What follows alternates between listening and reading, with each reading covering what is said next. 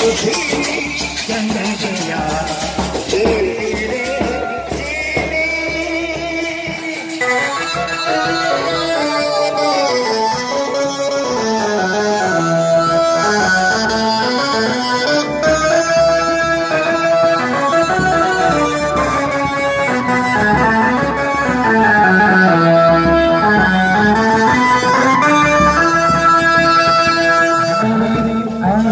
का चरखा बनाया पाँच